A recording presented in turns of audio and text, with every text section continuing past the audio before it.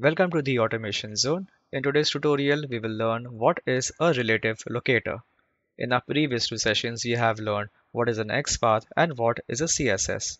In today's tutorial, we will learn how to identify an element with the help of some other element or an element relative to it.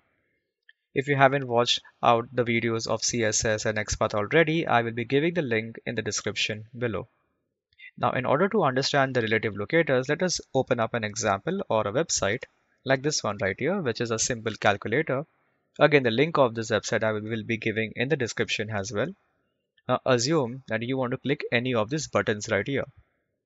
Now, the way I've designed this is all of the buttons over here have got a similar structure. They all have an input tag and the value of it would be the value seen on the screen. So this here would be an input with the value 5 and this here would be an input with the value 2 and so on for all the buttons present on the screen.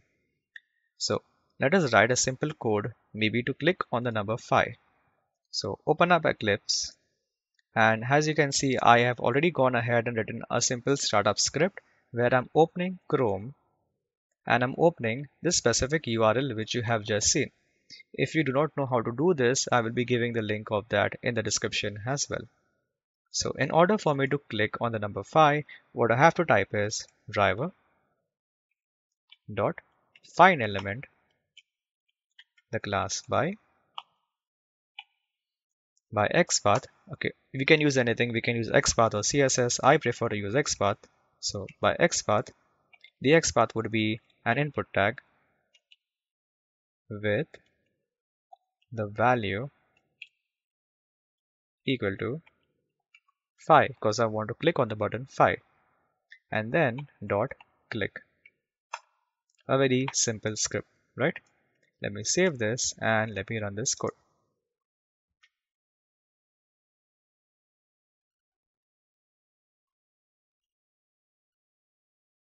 Now, if you can see, let me just zoom in a bit here. The number 5 has already been clicked. Now, we are going to perform the exact same example assuming you do not have any property for the number 5. Achieving this would be a two-step process. Step number one would be to tell Selenium what is the tag of the element which you want to identify. Now if you come back to our calculator here, the number 5 here has got the tag input. Now note that even if an element does not have any property, it at least needs to have the tag. So this element here has got the tag input. The second step would be to tell Selenium that where is the element relative to some other element. What I mean is the element fire is maybe um, below which element, above which element, left of or right of which elements. A better way to explain this would be with the help of an uh, visual example here. So assuming that uh, you have identified or you know the properties of the element 2, you could tell Selenium that hey, uh, I know the number 2 here. I want to find the element having an input tag which is below 2. And then all of these elements would be identified. Then now this is not going to help you, right? Because uh, you want the number 5. Then you could go on a bit further and say, okay, I also know the element uh, number 4 here and I want to find the element which is to the right of the number 4 and then you will get these set of elements. And as you can see the nearest element over here which is below 2 and to the right of 4 is number 5 and that's how you would be able to identify the number 5 now if you can see here apart from number 5 all the other elements would also be identified. So it is not a foolproof method but it definitely will help you in some circumstance. Now let us see this with the help of the example. So this is a code for clicking on the element. We'll just modify this. So we are going to type here driver dot find element. Now this time instead of typing the class by, we are going to use a class relative locator. So R E L A T I V E locator dot. The moment you type relative locator dot, you'd be able to see two options here. So one one the first one is relative by and the second one is with tag name. So make sure you are selecting the second one which is by tag name and within your parentheses you have to specify which tag so as we have seen earlier the first step was the tag name which is input okay um, now the moment you type a dot after this you would be getting various options. It's above below etc now if we come back over here you would see that this element here is below the element number 2 so let us come back over here. So input dot below. Now for the sake of this example uh, just note that you can take this below as well like this. So below below which element we are going to identify our element with the help of any of the locators. Let us try xpath for now. So below the element located by xpath and the xpath is input with value equal to 2 here we go. So it is this element is below the element with the value 2 now if I were to just run this it would not give me the right option. So in fact let me go and run this and show you what do we get. Dot click.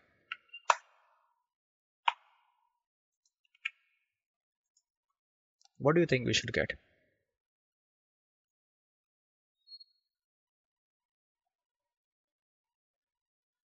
As you can see here it has clicked on the number 4 why has it done that so if I go back to my slides and if I go one step above now what I've told is I want to click on the element with the input tag which is below 2 now below 2 all of these elements come. Now the way selenium reads some uh, reads elements would be from the left to the right from the top to the bottom. So this here would be our first element second, third, fourth, fifth, sixth, seventh, eighth, and so on and so forth. And Selenium is going to click on the very first element, which is the number 4. And as you can see, by example right here, it has clicked on the number 4. Now, what we're going to do here is, uh, we are going to uh, tell Selenium to go a bit further and we are going to identify the number 4 and say we want the element which is on the right hand side of number 4 and which is below number 2 let us come back over here. So we want to the right to the right of the element located by the xpath in fact let me copy the same xpath right here. But this time instead of the number 2 we want the number 4 let me save this and let me run this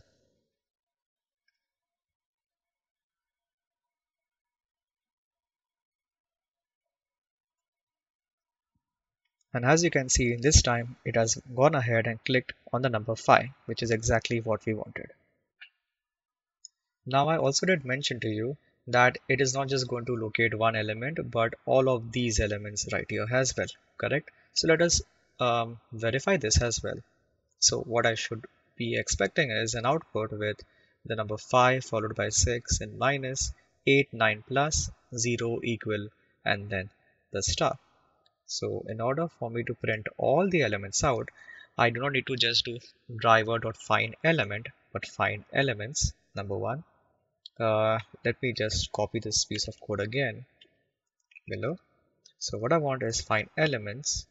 I want to remove out this click right here Next, I want to save all of these elements in some kind of variable, right? So let me make a list of web elements. So web elements is equal to and let me give a name for this. Let me give this name as okay elements. Uh, I also have to okay so elements is element. Okay that makes sense. And now I would want to iterate all of these uh, this list of elements and print out all of the values. Because as we have seen earlier that all of these buttons here have got a value which corresponds to the number correct? So let me type a for loop here. So for a for loop for loop of what? For loop of web element. Uh, let me give a name for this web element. Uh, let me give this name as button and I'm iterating what? I'm iterating these elements right here or this list right here. Then I'm going to say that for each iteration I want to type in what? So system output. And within system output I would want to print out each element or each buttons property. So get attribute which attribute? The value correct? And now if I save this and if I run this well it should give me all the elements in that specific order which we just spoke about earlier. So let me come back to Eclipse and as you can see 5 6 minus 8 9 plus. And if I open up um, the PowerPoint presentation you would see 5 6 minus 8 9 plus followed by 0 equal star which is 0 equals star. Now the last thing which I want to show you all is uh, what's the practical use of um, uh, because as you can see here that although you could identify the number 5 here it's not that uh, precise right? It can make mistakes. So I would not recommend you all to use it everywhere but there are definitely some instances where uh, it can be used so let us have a look at that So this here guys would be a proper example. Now if you can see here, uh, don't go on the numbers. Assume that you have a web page with all of these elements. You know, you might have menus, you might have certain pictures, certain text, etc, etc. However, in your entire web page, in one corner you have an element with no properties, as well as on the other corner of the website you have a different element with again no property. Now in this case, if I were to simply tell Selenium that, hey, find an element which is above 38, there would be only one element called as A, which is the one that you want here. In the same way, if I would tell Selenium that, hey, find an element which is below 72, again, you'd only get one element which is the element A, which is below right here in this corner of the screen. So by utilizing relative locators in this specific way, you would not encounter issues which we encountered earlier where you have a bunch of elements and you might not be certain if it is selecting the right one or not. Even if you do make a mistake, for example, I want to click an element or find the element which is below 18, you'd be dead sure that the element, the first element below 18 would definitely be this one right here, which is the one which you want.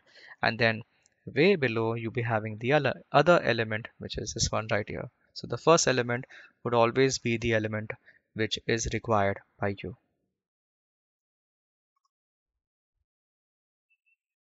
That's it guys for this tutorial on relative locators. I've got a whole lot of other tutorials as well which I've lined up for you which are, are I think so around 30 or 35 such topics right here.